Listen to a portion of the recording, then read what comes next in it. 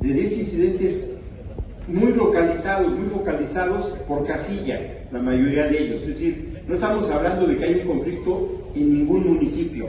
No está en riesgo la elección en ningún municipio ni en ningún distrito. Hay incidentes que pueden ir de leves a graves, pero que están muy focalizados y que no impactan al conjunto de la elección, ni en lo distrital ni en lo municipal.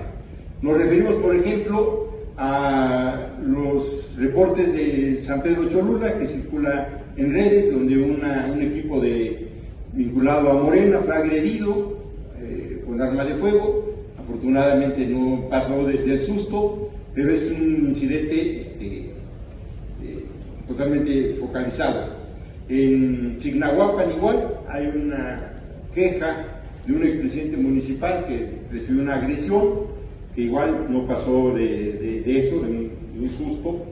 Eh, en el caso de Venezuela Carranza, que ya habíamos eh, conocido en el curso de la semana un nivel de polarización muy fuerte, eh, hay la queja de impactos de arma de fuego en unos locales, afortunadamente sin nada que ver con personas, son hechos lamentables, pero no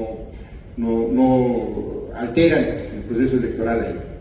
El que ya habíamos comentado en la mañana en Tlapanalá, que se ha confirmado que efectivamente hay una persona fallecida de manera incidental, no por una disputa electoral, sino en el momento en el cual se dan a la fuga a estas personas que se robaron las boletas, hay una persecución de la policía y en ese intercambio de balazos es que una señora, una mujer, pierde la vida este, y bueno, se está investigando pero, eh, por parte de la Fiscalía y se tendrán que deslindar responsabilidades.